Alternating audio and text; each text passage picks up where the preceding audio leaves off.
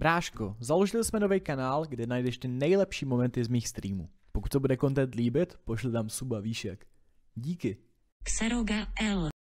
Ahoj, já jsem Xero, vítám vás u dalšího videa a v dnešním videjku se podíváme a vysvětlíme se a řeknu vám, jak funguje a co můžete získat z nového anime eventu, který uh, nám dneska, to znamená uh, 30. Uh, září, začal. Je to event, který byl ve hře velmi podobný už před rokem, taky to byl platičský event v podstatě na ty nejvyšší, nebo takhle, polovina toho eventu je pay to, pay to win, pay to get. Uh, tady ten vrchní řádek, abyste získali, ka- nebo byť pro získání té první položky z tady toho vrchního řádku musíte utratit nějaký peníze. Ten druhý řádek tady ten jde udělat uh, tím, že budete hrát. Samozřejmě vidíme um, ty odměny, jo, jako asi se nemusíme bavit, že tady ta hra je pay to win jako prase a tenhle ten event není výjimkou. Uh, každopádně, uh, o čem ten event vlastně je? Jak jsem řekl, máte tady dvě v podstatě eventové linky. Uh, ta vrchní, uh, nebo pro tu vrchní potřebujete získat klásky, tady uh, spikelets, to je anglicky. Ty klásky jdou získat myslím, nebo našel jsem jenom jed, jednu záložku, kde můžete získat, klásky a to tady v záložce Gold, kde uh, máte k těm balíčkům Goldů ještě právě ty klásky. Uh, můžeme vidět nejdražší balíček, nějak 2200 korun v přepočtu, má tady 631 klásků, na splnění celého toho eventu potřebujeme 1800 klásků. to znamená, že pokud je někdo jako anime enjoyer a chce tady tohleto uh, anime pozadí, tak ten ekvivalent je nějakých 5000 korun plus minus. Jo, což je naprosto, naprosto šílen.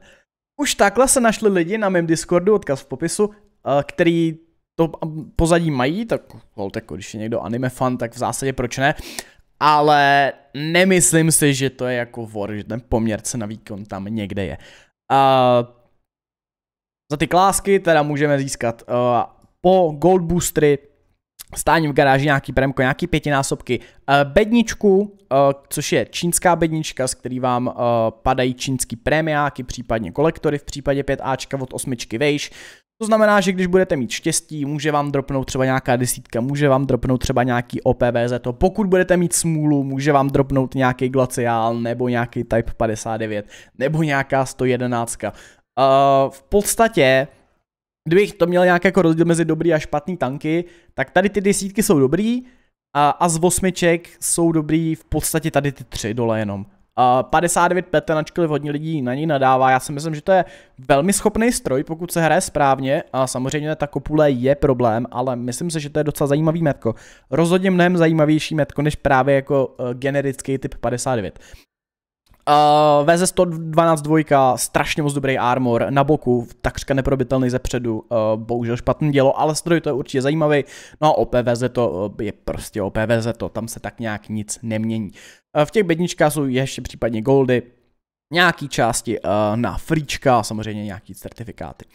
Uh, potom tady máte avatar, uh, tady to kamo, který se mi actually docela dost líbí a přemýšlím, že bych jako nějaký goldík stejně potřebuju koupit, mám prodan nějaký kolektory, že bych se dostal aspoň tady na to kamo a hodil ho na nějaký tank, protože eh, ty kama tam jsou dvě a opravdu se mi hodně líbí. A pak tu jsou nějaký další pětinásobky násobky a pak je tady trubka. Za trubku, nebo horn, roh, prostě trubka. Za trubku si můžete claimnout, a teďka zase to najít eh, v tom shopu, pardon, a myslím si, že když rozklikneme tanky, Yes, yes, yes. Tak tady mimo to, že jsou tady přidan nějaký nový německý prémiáky uh, za goldy, o kterých si případně promluvíme v nějakém jiném videu, tak tady naleznete tři tanky, které si můžete claimnout právě za tu trubku. Uh, mezi ty tři tanky patří osmičkový LT, Somua a VZ122 TM. Z těchto těch tří je bez pochyby nejlepší LT. LT je naprosto skvělý stroj, zábavný stroj. Um, je to light, který má i docela zajímavý armor. Je to zajímavý tank a z těchto těch tří bych si já vybral zrovna tady tenhle ten.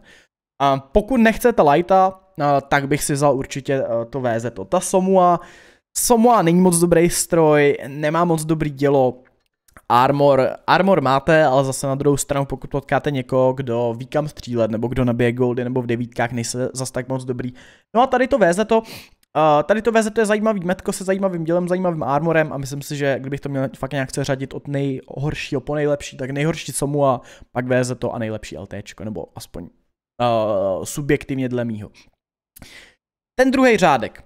Tady máme uh, vlastně tu část toho eventu, která jde získat pouze za hraní. Uh, získáte praporky za vítězství na tancích 5. a 10. týru. Je úplně jednoduchý, musíte dát 100 vinů.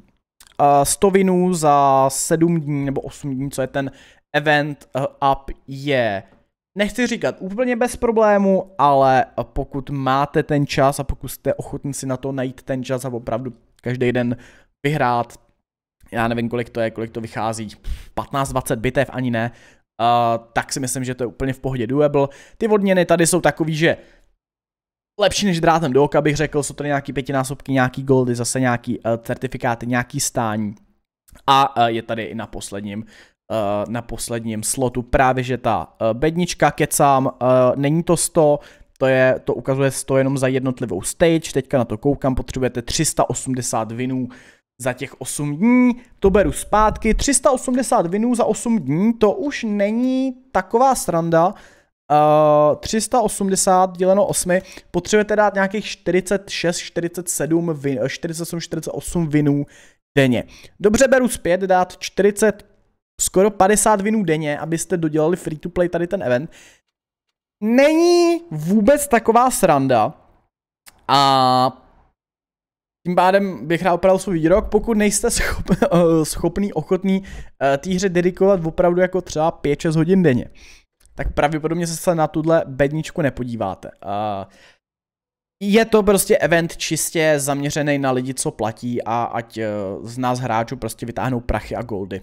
Hmm, tady ten event není moc dělaný proto, aby si free-to-play hráč něco odehrál. Jako jo, můžete si tady odehrát nějaký, nějaký, nějaký goldy, nějaký třeba uh, boostery, ale uh, hlavně jde teda o tady ten vrchní řádek, uh, kde je teda spoustu o dost víc lukrativnější věcí.